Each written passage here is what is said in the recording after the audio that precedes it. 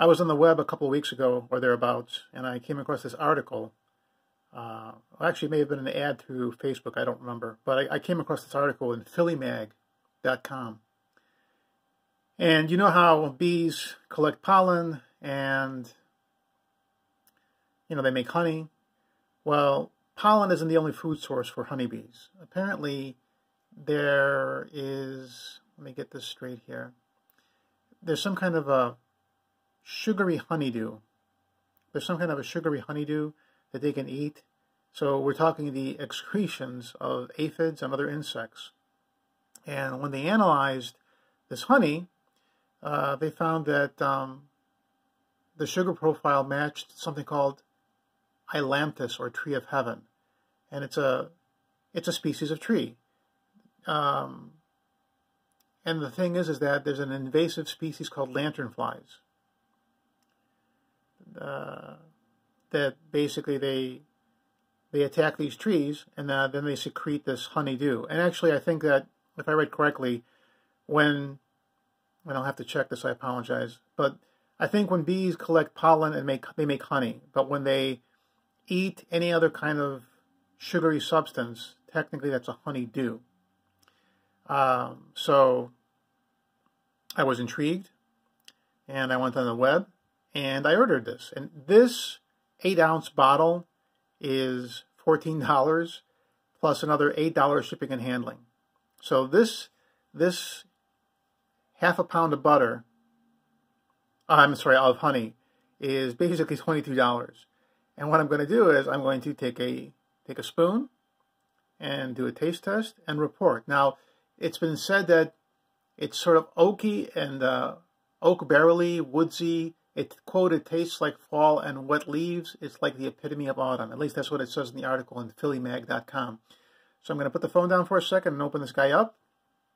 Doom Bloom Honey, Pennsylvania Spotted Lanternfly Honey. So give me a moment here, ladies and gentlemen, to sort of just put the phone down for one moment. I'm not going away. I'm opening up the, okay. Okie dokes. Okie dokes and it looks like honey.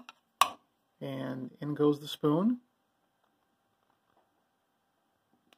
Now, I'm more of a maple syrup kind of guy, but what the heck, you know, honey. Honey's not honey. Honey's not bad. Okay, this is gonna.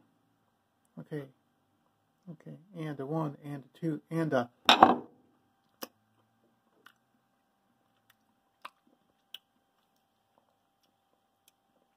Okay. It's um it's honey. It's honey. I'll have a little another little another taste here. Okay. No. I mean, I've had buckwheat honey, which is honey that's, you know, bees make when they go to the uh, buckwheat plant. And that's where they uh, their pollen.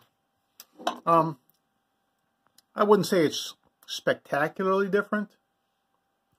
Um, I mean, it, it, it's, it's, it's honey.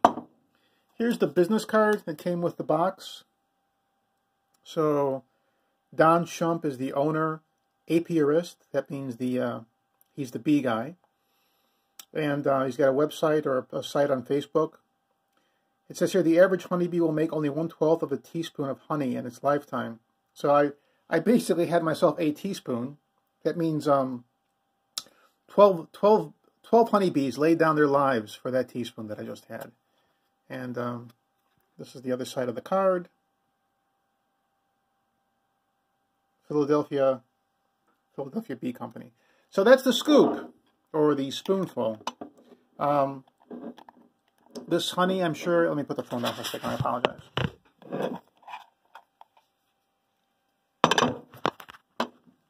Um, I can see adding this to my, uh, I can see adding this to my waffles or pancakes or whatever. Um, it's honey. I mean, the, the closest I can say to the taste is that um, if you've ever had uh, buckwheat honey, in other words, honey that, you know, bees, where bees got the pollen from the buckwheat plant, um, that's sort of what it reminds me of. Nothing spectacular out of this world. and as you can see, it's edible. So um, if you're ever curious about Doom Bloom honey, which is made from the excretions, uh, the sugary honeydew of the Pennsylvania spotted lanternfly. Now you know.